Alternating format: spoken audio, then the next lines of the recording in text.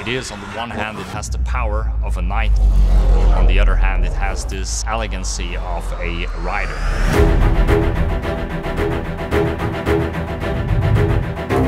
Personality of the DA50, I would say, is aggressive one.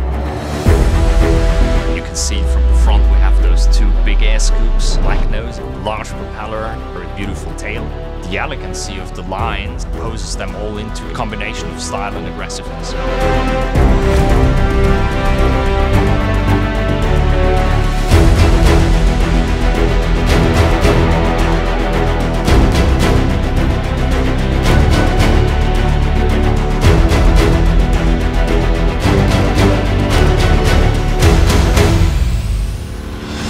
There's an old saying that an airplane flies like it looks, and I think that's especially true for the DA-50. Fast. It really looks fast. Really just makes you think of Top Gun or James Bond movies. Consider the elegance of a sports car combined with the versatility of an SUV. Really uh, channels all of your attention. You Cannot reach the elevator because the, the tail is just huge. You see this cabin when you open these gull wing doors.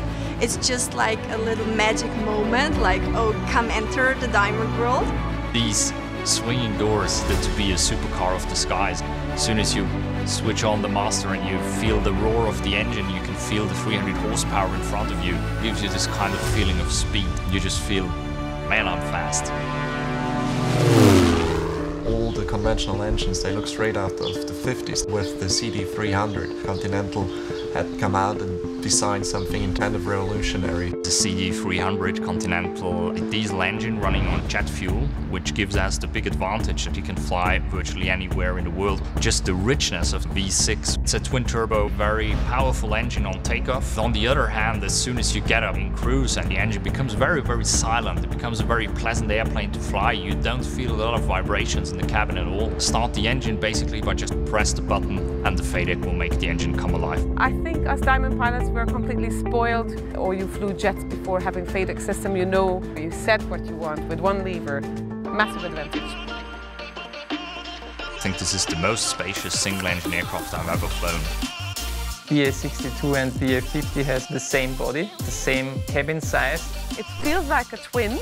If you have a family, if you want to go for a weekend trip, you don't have to worry about weight and balance. You just sit in, put your luggage in the back and off you go. Not only that you fit five people, but behind the five people you still have plenty of space to put in luggage. So going skiing, golfing, or anywhere with the family. Inside, the interior is really sporty, but still being super elegant with the high quality of stitching. Just look at the features it gives you as a private pilot. You can control the aircraft in so many manners which aren't even available on an Airbus. The keypad, which you have in the center, which just make so much faster. To use it, I would assume you would never go back to using the knobs. You have the de-icing system. The prop also is electrical de-icing, makes the prop safer to operate. You have the oxygen system. You have the air conditioning system on a separate alternator. You can switch on the air conditioning anytime at any point in flight. Me as a production test pilot, I take the aircraft to all sides of the performance envelope. Even if you get into a stall with a DA50 power on in a turn, the aircraft will be controllable all around its lateral axis. Like literally you could put her in a stall and almost hover on a spot, just have like a very low airspeed and gently, without any violent movement around the, any axis of the aircraft, come down in the stalling attitude all the way to the ground. And that just shows brilliant stability.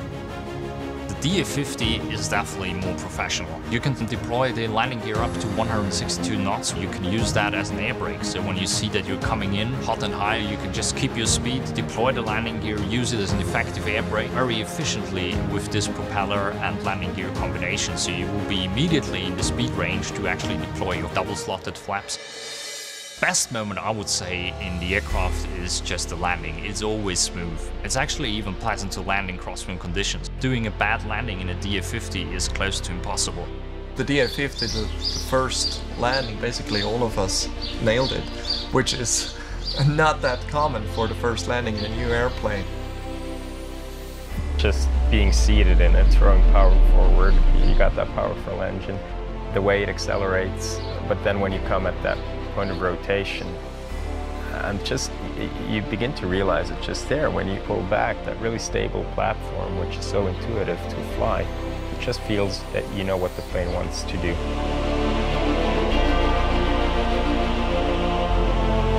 You feel like one with the aircraft that's from the beginning on with the first flight you feel as one with the aircraft it's not like the aircraft does something and you battle against it it's you can tell the aircraft where to go and it will do exactly as you want to I would say it's just a thrilling aircraft to fly. The moment you step in and you feel this kind of elegant touch on the inside, but this brutal power in front of the aircraft, that just gives you big excitement. We have brought so many innovations and so many passion into the aircraft. It's really a big aircraft and it's so stable and so smooth in the air. gives you everything what a pilot wants. In the process of, purchasing your aircraft, you realize with a new model, you don't have the compromises anymore. With the Diamond, you, you have a design which incorporates all of these struggles which pilots had over these last years into just a brand new clean sheet design